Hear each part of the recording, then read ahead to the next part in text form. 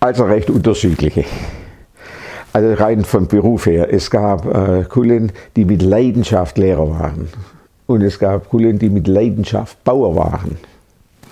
Und es gab ein paar wenige, die waren beides, leidenschaftlich Bauern und Lehrer zugleich. Ähm, das habe ich ja schon erklärt, wieso immer die, äh, wie soll ich sagen, der Lehrerberuf in der Familie blieb.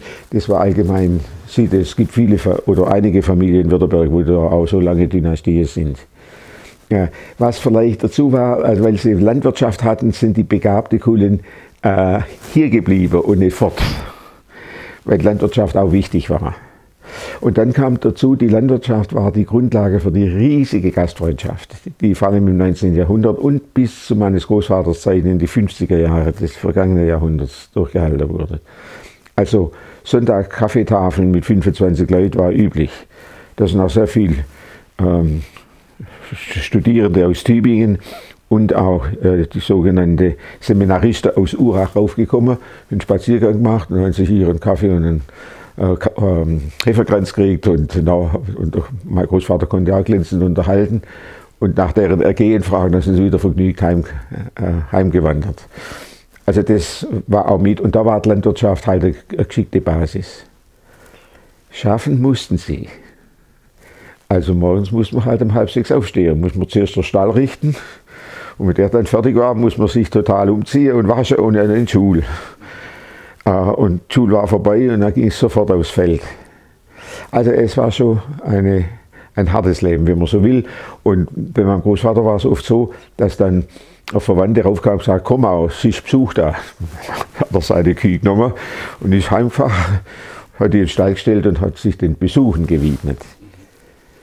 Das Besuchen waren wichtig und das hat auch dazu geführt, dass die Hilberner Lehrer einen weiten Horizont hatten, auch viel Wissen durch die Gespräche. Es sind auch sehr viele Durchreisende, kommen auch sehr vornehme Leute. Also der baltische Adel hat immer, wenn er in, in wie soll ich sagen, nach Italien zur Kur ging, oft ähm, in Hülbe Station gemacht, um mal auch den Alpietismus kennenzulernen und so. Und auch, äh, nach Norddeutschland haben wir sehr gute Kontakte und vor allem ins Rheinland. Also Wuppertal, äh, Barmen, Elberfeld, das waren Begriffe hier. Es gab dann später auch noch verwandtschaftliche Beziehungen dorthin. Ja, also so ist Schulhaus äh, immer, hat immer sehr weite Horizonte gehabt. War auch gut informiert über das Geschehen in der Kirche und in der Mission und hat auch alles oder beides kräftig unterstützt. Etwas, was weniger bekannt ist, aber auch noch wichtig ist, die Mütter waren auch sehr wichtig. Im 1900 gab es da nicht so, so äh, intensives soziales Netz wie heute. Also behinderte Kinder waren eine Last und kranke Kinder waren ein Übel. Und in vielen Stuttgarter Familien, wo es das natürlich auch gab, oder in Pfarrfamilien, hat man geguckt, dass die Kinder aus dem Haus kommen. Und dann hat die Schulmeisterin mehrere Großmütter oder Urgroßmütter gesagt, komm jetzt zu uns. Und so hat man zu dem Kinder, der Kinderschar, die immer groß war im Schulhaus, immer noch auch solche äh, Gäste gehabt. Äh, die waren manchmal auch von Vorteil, da hat ein reicher Kaufmann von Stuttgart hat sogar die Mittel bereitgestellt, dass wir Schulhaus noch ein bisschen erweitern konnten, damit sein Sohn ordentlich untergebracht wird.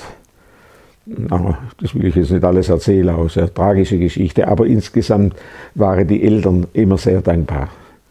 Und der letzte äh, Gast, will ich mal so sagen, der ist in den 30er Jahre hier gewesen. Aber das war so, der war dann so geistig verwirrt, dass es die alten Tanten nicht mehr geschafft haben. Und dann hat mein Vater, das ist auch interessant, einen Brief geschrieben an die, an die Eltern, sie sollen gucken, äh, dass sie ihn woanders unterbringen können. Das Schulhaus können sie nicht mehr machen. Also, also das, das ist auch wichtig gewesen, diese praktische Barmherzigkeit, aber man hat nie darüber gesprochen. Also die Tanten immer erzählen, ihnen sei selber ein Rätsel gewesen, wie das alles arbeitstechnisch zu bewältigen war. Der bedeutendste Kulin war der Kornthaler Kulin, Johannes Kulin hier. Das war ein Sohn vom Schulhaus, Zweitgeborene. Und das war ein blitzgescheiter Kerl. Seine Mutter hat immer gesagt, das ist mein Hellauf. Und hat ihn dafür besonders streng erzogen. Und das ist auch die Situation, die ist fast skurril. Äh, Im 18. Jahrhundert gab es ja hier nur die Volksschule, die siebenjährige oder sechsjährige, weiß nicht mehr. Also relativ kurz und sonst keine weitere Bildung. Aber er wollte weiter und hat dann, hier gab es keinen eigenen Pfarrer, ist also sonntags nach Grabenstetten gewandert. Das sind sieben Kilometer. Und hat dann nach dem Gottesdienst beim Pfarrer gebeten, er möge mit ihm Latein lernen. Das hat er dann gemacht. Die Lateinbücher übrigens sind noch erhalten, die er hatte. Und ist dann wieder zurück und hat es dann so weit gebracht, dass er also äh, später Lateinlehrer wurde, obwohl er nie im Gymnasium war. Und gleichzeitig hat er Französisch gelernt. Autodidaktisch, aber auch mit riesen Fleiß und Aufwand. Also immer tagsüber muss man arbeiten, das war klar in der Landwirtschaft. Also hat er beim Talglicht, bei Kerzenlicht dann bis in die Nacht hinein dann studiert und gelernt. Und gleichzeitig war er theologisch sehr interessiert und der Spezial Hartmann, heute würde man sagen, Dekan Hartmann von Neufen, hat ihn hervorragend in der evangelische, im evangelischen Glauben und Theologie unterwiesen. Da gibt es also, ein, da muss er mal eine Stellungnahme machen, weil er angeklagt würde, er wäre Separatist oder so, und hat er praktisch seine Glaubensgrundlage geschildert, glänzend formuliert, hochtheologisch mit 26 Jahren ohne Studium. Er ist dann später äh, Mitbegründer Kornhals gewesen, hat die dortige Schule geleitet. Es gibt ein Korntaler Kullenstraße, eine Kullenschule und so weiter. Das geht auf ihn zurück. Und ähm, ist dann später, äh, haben ihn die Wilhelmsdorfer, das war ja die zweite pietistische Gründung im Oberland, äh, zum Pfarrer gewählt. Und das musste dann durch den König, der war ja der höchste Chef der Kirche gewissermaßen, bestätigt werden. Und die Bestätigung hat er auf seinem Sterbebett bekommen. Er ist also, weiß jetzt auswendig nicht, aber so nicht, nicht sehr alt geworden, Anfang 50 ist er gestorben. Aber er war überragend und von ihm ist ein sehr populäres Buch da, die äh, 40 Erbauungsstunden äh, über die Offenbarung. Das war im 19. Jahrhundert eine Art Bestseller, ist mehrfach aufgelegt worden. Ähm, ich habe auch mal bisschen hineingelesen. Es ist so, es ist in der Offenbarung, legt es nur als Evangelium aus. Also das ist so, die Sonnenschalen Gottes und die großen Gerichte immer, der Herr wird es recht machen und so. Das war die, äh, der Grundtenor seiner Theologie. Ja, und dann äh, der, sein Namensvetter gewissermaßen und äh, Großneffe, das war der Johannes Kulin hier. Das muss eine überragende Persönlichkeit wird, der, der die Güte äh, äh, weitergeben konnte, die man durch den Heiland erfahren. Er hat im 19. Jahrhundert als Lehrer bis zu 70 Schüler unterrichtet. Und bis 78 war er Lehrer. Das, das ist halt würde GEW da Amok laufen, gell? Mit, auch mit Recht, gell? das geht gar nicht mehr anders. Aber er war es aus Leidenschaft. Und von ihm hat erzählt, dass er nie einen Stock brauchte in einer Zeit, wo es Züchtigungsrecht gang und gäbe war, gell, äh, Lehrer manchmal auch ganz sadistisch war, hat er das nie gemacht. Er hatte eine natürliche Autorität und er hat, von ihm heißt es, er hätte in Hülben in jedes Haus gehen können. Also das heißt, er hatte keine Gegner. Das war dann später nicht mehr so der Fall. Also im Hause Kultfallen, wo noch auch Hülben politisch wurde, da gab es noch schon auch gewisse Spannungen ähm, zwischen Schulhaus und dem Dorf, aber nie bittere. Vielleicht, wenn ich gerade das schon erwähne, muss ich es auch erzählen. Mein Großvater Albrecht Kuhlen, das war ein energischer Mann. Ich habe im Bericht geschrieben, hat nie in der Stunde gesprochen, hat aber jede Stunde besucht. Und war ganz wichtig, weil er eine wunderbare Stimme hat und musikalisch war, hat immer angestimmt. Und er konnte die Begabung der Hüllwörner, konnte da zur Blüher kommen, also diese schönen Gesänge, die sie haben.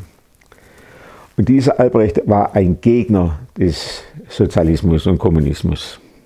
Und zwar, weil es atheistisch war, weil sie nichts von Gott wissen wollten.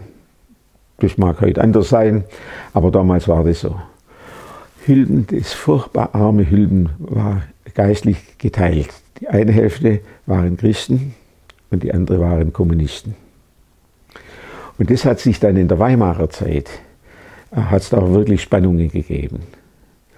Und da ist so, da ist einmal ein Agitator, meistens sind die Agitator kommen ja von außen, also von Reutlingen kommen halt auf der Kirchentreppe, also große Hetzreden gehalten. Und hat mein Großvater gesagt, komm runter, du Lumps, und hole dich.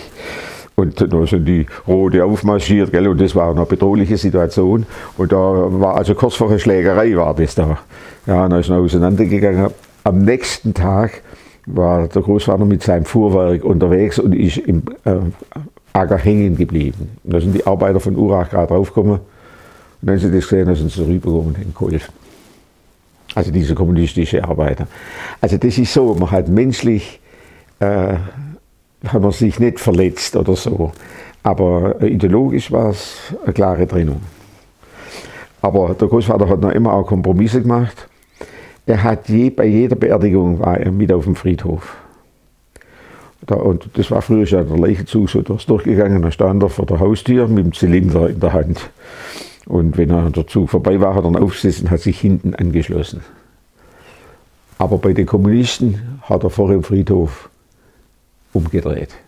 Da hat man gefragt, ja, warum? Ja, er will das rote Geseire da nicht hören, was da am Grab gesagt wird. Also da war er der konsequent, er wollte dem äh, Ortsbürger den Respekt und Ehre erweisen, aber nicht dem Geschwätz der Funktionäre. Also insofern war er schon eine eigenartige Persönlichkeit oder geprägte Persönlichkeit, sagen wir so.